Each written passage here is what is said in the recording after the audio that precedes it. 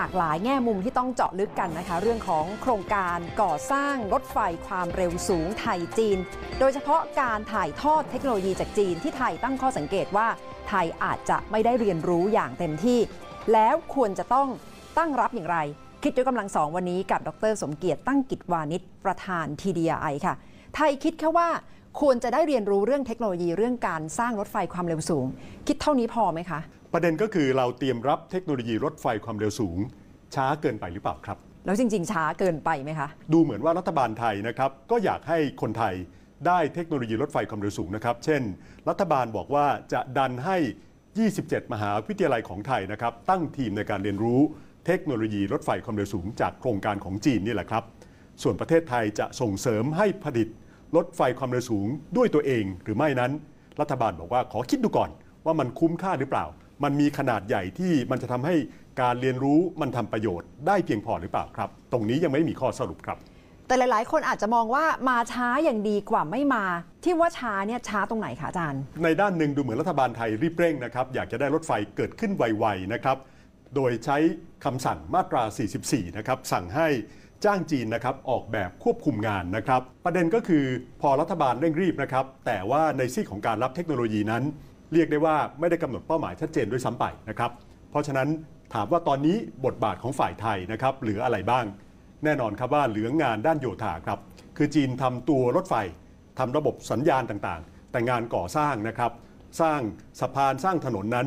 จีนออกแบบก็จริง แต่ไทยจะได้รับเหมาก่อสร้างครับ ซึ่งโดยตัวมันเองไม่ใช่เทคโนโลยีอะไรใหม่มากมายนะครับส่วนองค์กรวิชาชีพนะครับ เช่น สภาวิศวกร สภาสถาปนิกก็เรียกร้องให้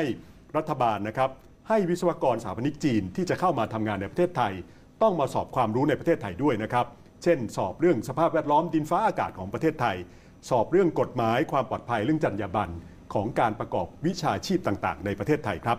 และก็อยากให้วิศวกรไทยสถาปนิกไทย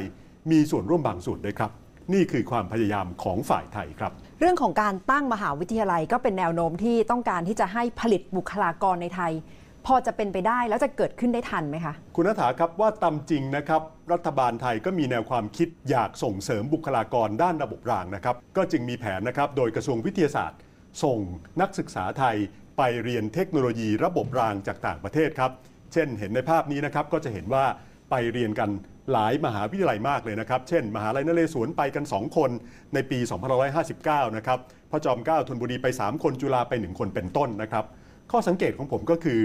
ก็ดีอยู่หรอกนะครับที่ส่งคนไปเรียน แต่ประเด็นก็คือรัฐบาลไทยกำหนดเป้าหมายชัดเจนหรือยังว่าเราจะทำอะไรกับเทคโนโลยีรถไฟในอนาคตนะครับ เพราะมิฉะนั้นนะครับพอส่งคนกระจัดกระจายไปทั่วประเทศ ถึงเวลาจริง ๆ จะเอาคนเหล่านั้นมาทำอะไรกับรถไฟในเมื่อคนอยู่คนละทิศคนละทางกัน จะทำรถไฟได้สักคันหนึ่งจริง ๆ หรือเปล่า ผมคิดว่าต้องคิดประเด็นนี้ให้ดีครับ ถ้าแจกทุนแบบกระจัดกระจายยากนะครับที่ประเทศไทยจะสามารถสร้างรถไฟได้สำเร็จ ไม่ใช่เฉพาะเรื่องกำลังคนนะครับ ต้องคิดภาพรวมก่อนว่า เราจะเป็นผู้ใช้รถไฟความเร็วสูงเท่านั้น หรือเราจะสักวันหนึ่งจะทำบางส่วนของรถไฟขายด้วย อาจจะทำทั้งคันไม่ได้ ก็เลือกทำบางส่วน นั่นก็คือต้องตั้งเป้าหมายให้ชัดเจนก่อนว่า เราจะใช้ประโยชน์จากเทคโนโลยีถ้าเราจะดูดซับมาอย่างไรนะครับ กรณีของประเทศจีนนะครับเขาตั้งเป้าเลยนะครับว่าเมื่อต้องการเทคโนโลยีรถไฟความเร็วสูงมา จะต้องมีชิ้นส่วนในประเทศให้ได้ 70%เป็นอย่างน้อย จีนนั้นเวลารับเทคโนโลยีจากประเทศต่างๆ ทั่วโลกนั้นเขาใช้สัญญาจัดซื้อจัดจ้าง แล้วก็ให้ทำงานผ่านบริษัทร่วมทุนกับคนจีน เพราะฉะนั้นคนจีนได้เทคโนโลยีไป แล้วทางจีนเองทั้งมหาวิทยาลัยและบริษัทรถไฟ ก็มีการวิจัยและพัฒนาอย่างต่อเนื่องครับ เพราะฉะนั้นจีนจึงดูดซับเทคโนโลยีได้ และองค์กรรถไฟของเขามีความพร้อม คนของเขามีความพร้อม เพราะฉะนั้นเมื่อมีการสร้างรถไฟความเร็วสูงของจีนเมื่อ 10 ปีก่อน จีนจึงสามารถดูดซับเทคโนโลยีได้อย่างรวดเร็วอย่างไม่เคยเป็นมาก่อนเลยครับแล้วเงื่อนไขที่เกี่ยวข้องกับข้อตกลงการค้ากับองค์กรระหว่างประเทศล่ะคะจะเข้ามามีส่วนเกี่ยวข้องกับโครงการนี้ได้มากน้อยขนาดไหน จีนได้ใช้ สัญญาจัดซื้อจัดจ้างภาครัฐนะครับ เพราะการรถไฟของจีนนั้นเป็นหน่วยงานของรัฐนะครับ ในการบังคับให้ต่างประเทศถ่ายทอดเทคโนโลยี เรื่องอย่างนี้มักจะมีการถกเถียงกัน และในประเทศไทยก็มีคนบอกว่าอย่าไปทำเพราะว่าขัดกับความตกลงองค์การการค้าโลกหรือ WTO นะครับ ประเด็นเป็นอย่างนี้ครับ ความตกลงของ WTO นั้นมี 2 ส่วนใหญ่ๆนะครับ ส่วนหนึ่งก็คือเป็นความตกลงที่ครอบคลุม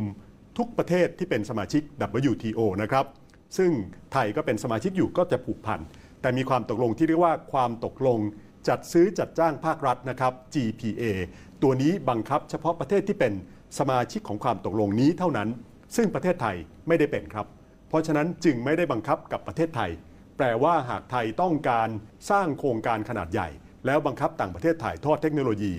จะไม่ขัดกับกฎการค้าโลกนะครับ อย่างจีนเองเป็นสมาชิก WTO เหมือนกัน ก็ไม่ได้ขัดกับกฎข้อนี้ อเมริกาเองก็เป็นสมาชิกและหลายครั้งก็บังคับให้ต่างประเทศ ถ่ายทอดเทคโนโลยีให้กับตนเอง เช่นเดียวกันครับ เพราะฉะนั้นไม่ได้ขัดกับกฎการค้าโลก แต่ที่น่าเสียดายครับ ประเทศไทยแทบไม่เคยใช้กฎจัดซื้อจัดจ้างในการพัฒนาเทคโนโลยีเลยครับจนกระทั่งเร็วๆนี้ เริ่มจะมีแนวคิดบางอย่าง เรียกว่าทำบัญชีนวัตกรรมนะครับให้สินค้าที่ผ่านบัญชีนี้ได้รับการส่งเสริมครับ คุณนัฐาครับคงต้องยอมรับกันก่อนนะครับ พูดกันให้ชัดว่า ช้าไปแล้วครับรถไฟความเร็วสูงถ้าจะประมูลกันตามที่รัฐบาลเร่งรีบ โดยใช้มาตรา